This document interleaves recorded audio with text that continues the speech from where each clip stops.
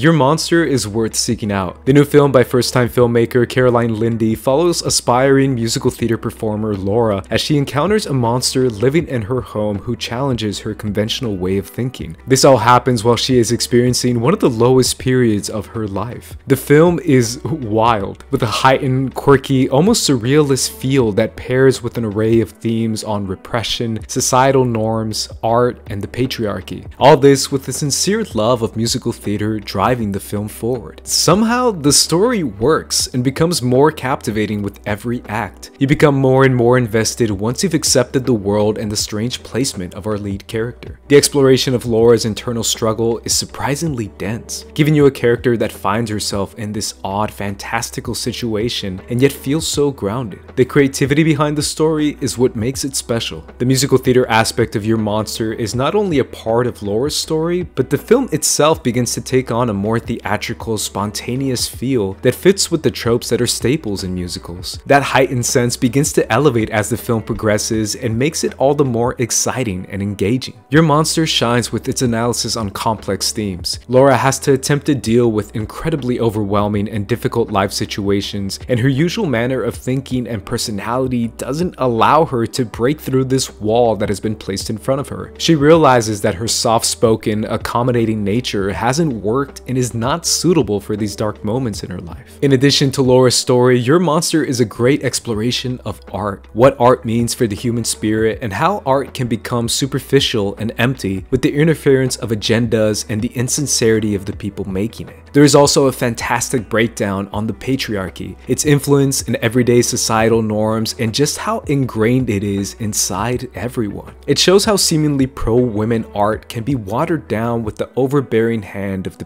patriarchy. Your Monster balances all these themes in an original and exciting way that is worth the watch. Seek this one out. I highly recommend it.